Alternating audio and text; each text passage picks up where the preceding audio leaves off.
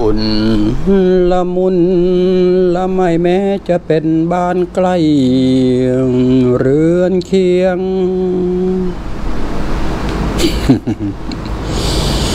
นึกถึงชายเมืองสิงห์ยุคนั้นเป็นยุค เพิ่งแตกเนื้อหนุ่มมั้ง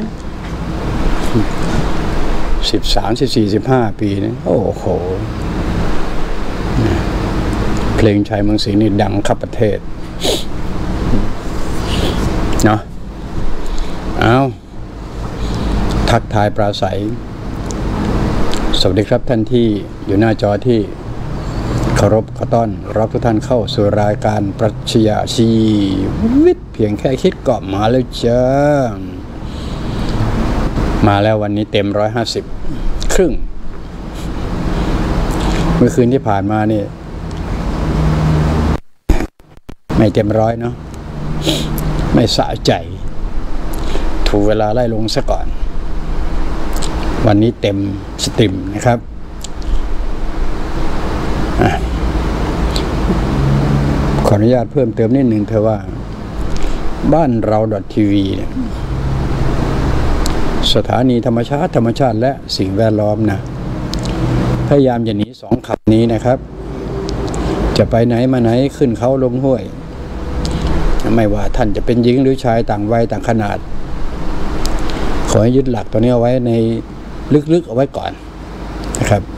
ส่วนที่มันจะแปรผันพระด้านใด ๆ ในระหว่างนี้เช่น มาเรื่องราวมาลงทุกอย่างจะมาลงที่มนุษย์นะครับ เรื่องราวมนุษย์ทั้งสิ้นมนุษย์นั้นจะต้องรู้สถานภาพตัวเอง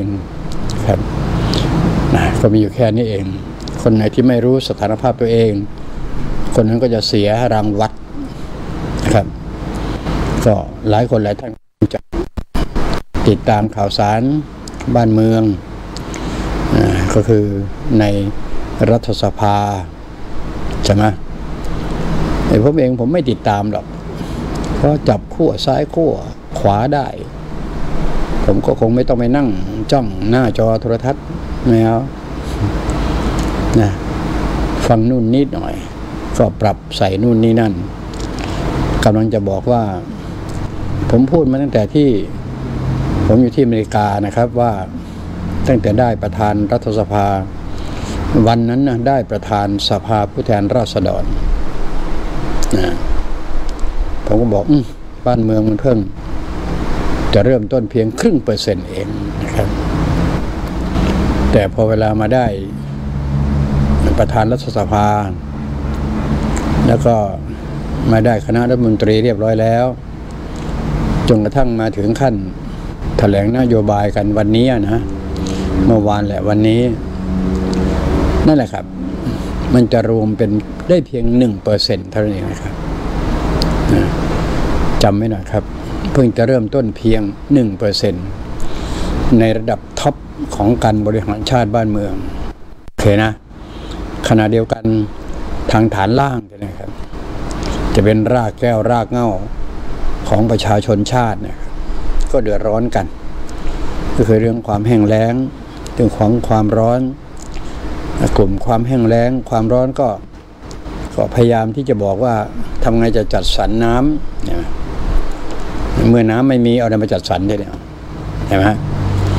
ใครล่ะครับจะมาทำน้ำจากฟ้าให้มันตกขึ้นมาได้ อ้ตรงนี้ฮะมันเหมือนกับ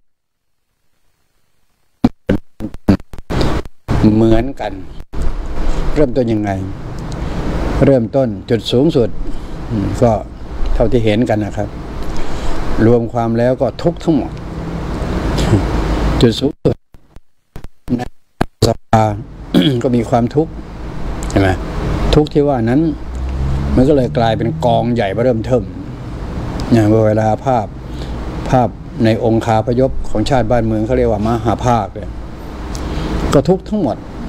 นะก็เลยกลายเป็นกองทุกอันมหึมานะครับ กองทุกไปโดยรวมไปยังทุกอนูไปยังทุกสัดส่วนของการบริหารจัดการบ้านเมือง ก็เลยเรียกว่า กองทุกสาธารณะก็เลยกองสาธารณทุกเห็นไหมก็เป็นส่วนหนึ่ง ที่อยู่ในบ้านเราทีวีนะครับ ส่วนนั้น แต่มาถึงตรงนี้นาทีนี้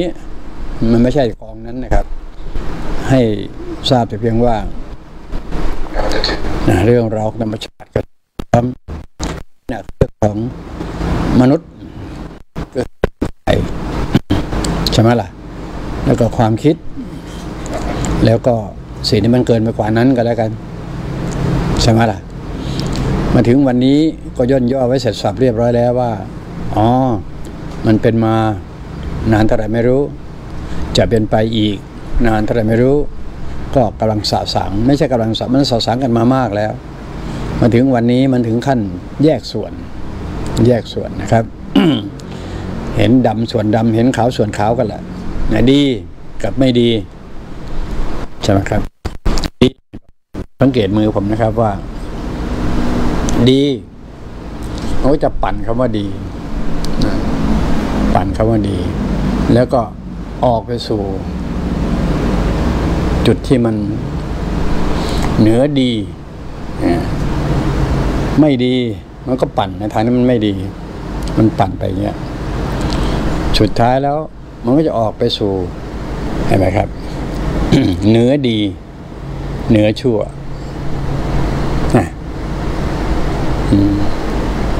ใช่ไหมมันเป็นช่วงของมัน มันเป็นวาระของมันสำหรับโลกใบนี้จะต้องเจอกับสิ่งเหล่านี้นะครับ โลกใบนี้ ถ้ามันกว้างขวางต่อไปอีกทีหนึ่งอันนี้แค่บ้านเรานะฮะพอเวลาปัดไปยังส่วนต่างๆของโลกนไหมครับ ไม่ว่าจะเป็น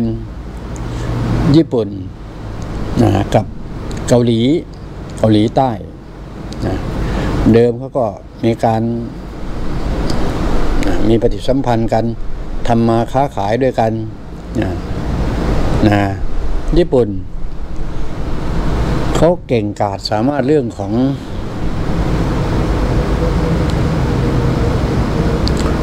superconductor ครับนะจะบอกให้ทราบไว้นะครับ superconductor เนี่ย มันเอามาใช้กัน โอ้ย มากมายมหาศาลกับเรื่องของ เทคโนโลยีสมัยใหม่เนี่ยครับไม่ว่าจะเป็นอยู่กับมือถือมือถอยนะครับ พวกซิปไอชิปชิปอะไรนะกลุ่มพวกนี้แม้แต่ปัดหน้าขึ้นมาเนี่ย มันใช้กับสิ่งพวกนี้ขึ้นมาได้ มันมาสจันเหมือนกันนะครับ ก็มันมาจากนะเรื่องของวิทยาศาสตร์เทคโนโลยีเขาเขาถือถือว่ายอดเยี่ยมมาถึงวันนี้เนี่ย ตอนนี้เริ่ม นะเอากันว่าญี่ปุ่นกับเกาหลีใต้ เรื่องของการค้าการขายนะเดิมจะเรียกก็เป็นมิตรกันมาตลอดตลอดตั้งแต่ สงครามโลกครั้งที่สองจบลงกี่ปีมาแล้วครับ ใช่นะ มาถึงวันนี้เราหองระแหงกันแล้ว จริง ๆ แล้วถ้าหากว่ามนุษย์เราไม่ลืมอดีตครับ เอาแต่อดีตมาพูดถึงกันเนี่ย มันไปต่อไม่ได้ จะทะเลาะกันเรื่องของ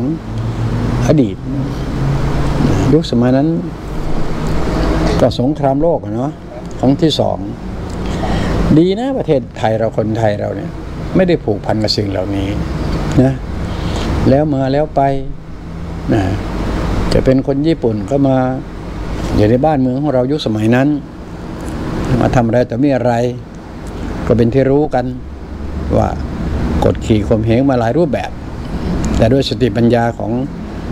คนยุคนั้นของในบ้านเมืองเราก็สามารถที่จะปรับแก้จากหนักให้เป็นเบาอย่างเงี้ยจากหนักดักให้เป็นเบาได้ แม้กระทั่งกรอบของโลกเหมือนกันสุดท้ายแล้วประเทศไทยเราก็รอดพ้นจากใด ๆ ขึ้นมาได้นั่นคือผลพวงจากสงครามโลกครั้งที่สองนไหมครับ